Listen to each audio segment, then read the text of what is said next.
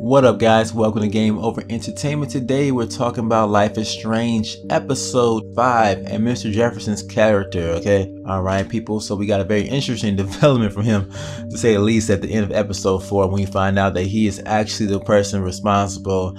Uh, our main antagonist has been revealed and he has to be stopped.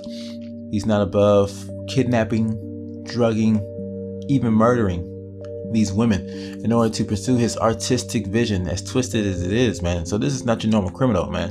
A normal criminal who goes after money, power, maybe respect, maybe revenge in some sort of way. And that makes him even more dangerous and even more crazy.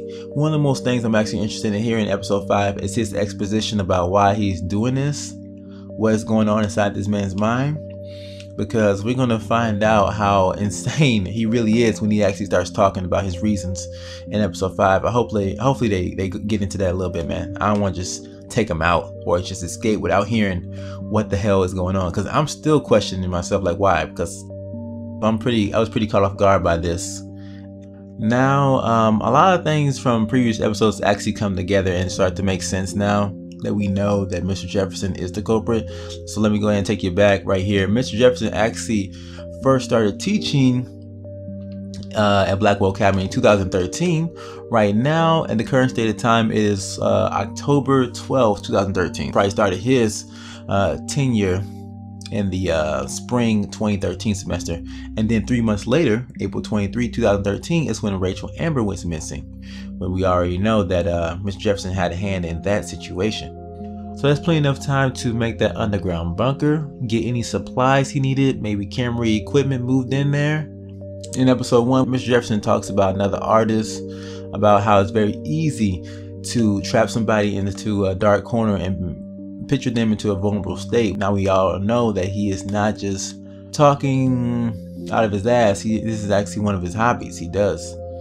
And then in episode two, when we got the Kate Marsh conversation talking to Mr. Jefferson before she gets on top of the roof, Mr. Jefferson basically shuts her down, make, making Kate think that it's all her fault, that she needs to make better choices in her life. So we understand why he actually did this. You know, Kate Marsh actually looking up to Mr. Jefferson, probably one of her favorite teachers as well, an inspiration to her, shutting her down, made her believe that if this man right here, who I uh, look up to, doesn't trust me or uh, believe what I'm saying, then no one will. So probably her desperation led her to the rooftop. So he was responsible for that in a way, and uh, he knew exactly what he was doing there. Basically, pushed all the blame on Kate and kind of focuses away from Nathan and subsequently himself. In episode 3, we also get a conversation where Victoria's talking to Mr. Jefferson about the Everyday Hero uh, contest, and in the conversation, Victoria actually pretends that her and Kate are friends. So that may have been an indication, or may have actually ended Victoria on uh. Jefferson's radar. The fact that she's friends with Kate. So in order to maybe even cover his tracks even more, he may felt the need to take her out, or maybe the fact that she threatened him is one of the other reasons why she may have ended up on his list because we all know Victoria was next to end up in the dark room. And Victoria, she is uh, very confident and sure of herself, and what better subject to have in his portfolio than someone to turn someone who is that who has that type of attitude mentality just over to the opposite side ultimate fear ultimate despair and very vulnerable looks like all of his victims actually really admire this man. First, we had uh, Rachel Amber, which was rumored that they actually hooked up at one point in time. So there must be some kind of hint that they had some type of attraction toward each other, either Rachel Amber toward him or the opposite way.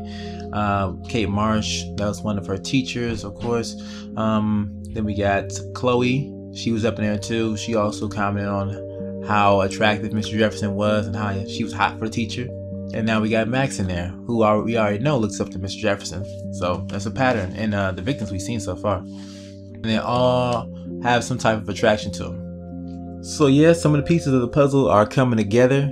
And now let's go ahead and talk about some of these theories I've been getting in my comment section. So one of the popular theories I've seen so far, um, Mr. Jefferson is Sean Prescott, but I don't believe it to be true just because the fact that Mr. Jefferson is widely known He's very famous. He's only been teaching at the school since 2013, so he hasn't actually been in Arcadia Bay for a long time. Originally from Arcadia Bay, he may have some history with the Prescott that predates whatever happens in this game. So that's how you may have the uh, the clout, uh, the means to get into the barn and have access to uh, the facilities.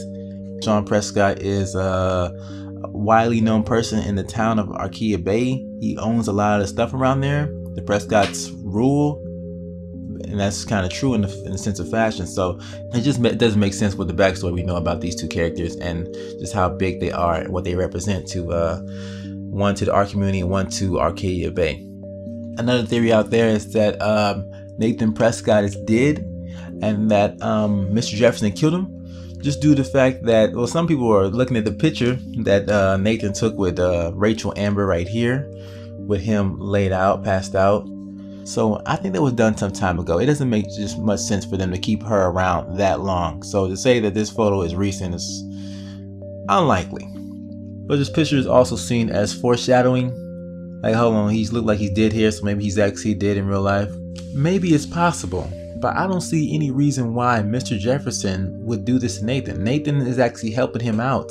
He brings them the girls okay? Even if it is against his own will or he is being blackmailed or whatever he's a victim. He's still bringing him everything he needs. He's throwing these parties. So why would he kill his main assistant? Unless they got into some big argument behind the scenes that we don't know about. Perhaps nathan wasn't too thrilled about having victoria chase next on the list. I don't know and some people are also mentioning how uh, Mr. Jefferson had Nathan's phone at the end. If Nathan and uh, Mr. Jefferson are allies, then you know Mr. Jefferson could simply have borrowed his phone, let him know like, "Hey, I'm about to get these girls off our back. I got the perfect trap for them," knowing that he wouldn't be implemented if and they would believe this text from Nathan's Prescott's phone. Or he could been like, "Hey, Nathan, go ahead and text this out to Chloe and Max right now. I'm about to meet them at the junkyard, okay?"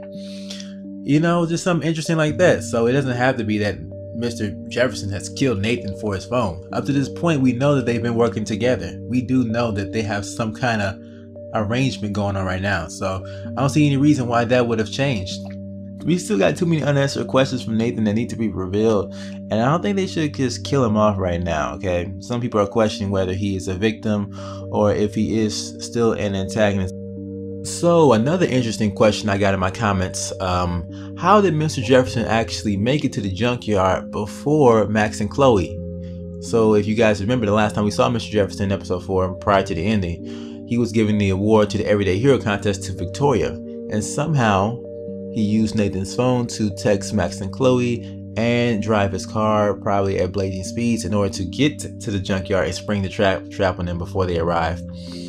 Um, so this has led to some other theories out there about how um, Mr. Jefferson actually knows about Max's abilities. Um, it is kind of possible. I can't see him actually uh, fully understanding how the rewind powers work. And some people have actually suggested that Mr. Jefferson has the rewind powers himself, which I just don't want to believe. He would be OP as hell. He'd be really hard to stop. I don't even know how Max would fight against someone like that because if Mr. Jefferson has the power, he probably has a better understanding of it. He probably knows how to use it more. Um, yeah, he'd just be too powerful, man. Too too hard to stop in episode five, but it definitely would be one hell of a twist. So to answer your question about how Mr. Jefferson actually intercepted Chloe and them in the junkyard, well, there is a back door to the pool. If you guys remember, Max and Chloe were in the pool scene, and a security guard came in in the door opposite of the pool that's actually an exit and an entrance to the pool, okay? So Mr. Jefferson could have exited that way, parking lot maybe right there, got in his car, made the text, and then drove to the junkyard in order to prepare for them. Already having the anesthetic injectable drug in his car and his gun there, so it wasn't pretty hard to put together, but that's the way he could have um, stopped them and got there before that, okay? Alright, so Mark Jefferson, a man willing to kidnap, drug, and kill in order to pursue his twisted artistic vision of photography. This is probably the main reason why he even returned to Arcadia Bay. No, he's not a good guy who wants to help the students out. Bullshit. Okay, he came there just for his own plan. And there he has connections with people in order to get set up, in order to be protected, in order to remove all doubt of his situation That's why he moved to Arcadia Bay. Okay, this is probably a dream for him, and uh, it's all going to end on episode five. Okay, we got to put a stop to this man. I don't care what his reason is, but let me know in the comments what you guys think about Mr. Jefferson, and uh, I'm just, I'm just very interested to see what he has to say in episode five, man. Uh, thank you guys for watching. Comment below and peace out. All of you represent Blackwell Academy and everything our school stands for. As far as I'm concerned, you're all everyday heroes. The envelope, please. And the winner is... Come on! Oh my, what a shocker.